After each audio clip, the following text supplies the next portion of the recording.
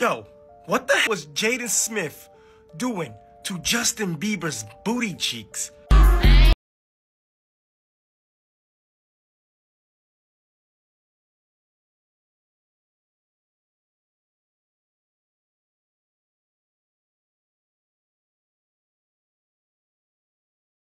Like, yeah, that's my.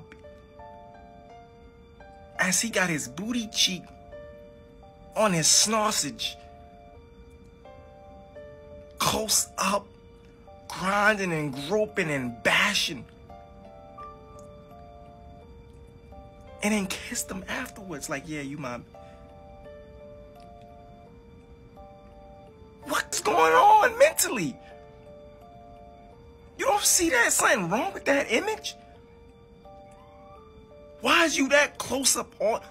Are you not paying attention to detail? Why is Justin Bieber's booty cheek so close on Jaden Smith's snorsage? And why is Jaden Smith's snorsage grinding and pounding up and then kiss him afterwards? There's no excuse for that, man. I don't even know if they were being, if they noticed they were getting filmed or recorded. But like y'all are celebrities, how you don't see that? Why is these celebrities getting so suspect? Why y'all kissing in the first place? Why? You can't shake hands, dap up, hug, but you had to kiss? You just groped and grinded and bashed them in public. Groped them, basically. Probably... Eh, and then kissed them. You could have just pounded them up, dapped them up, and see you later. There's no excuse for that, man. That's crazy.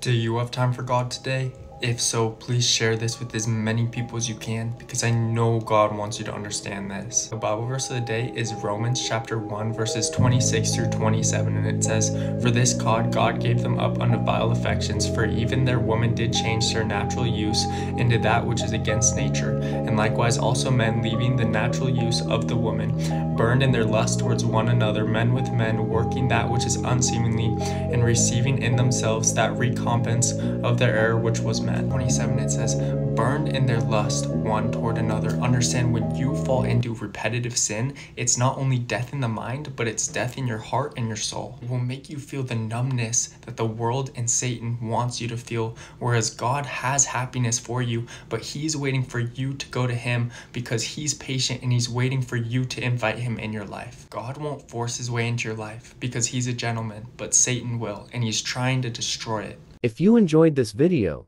please subscribe to our YouTube channel, like, share, and comment. God bless you.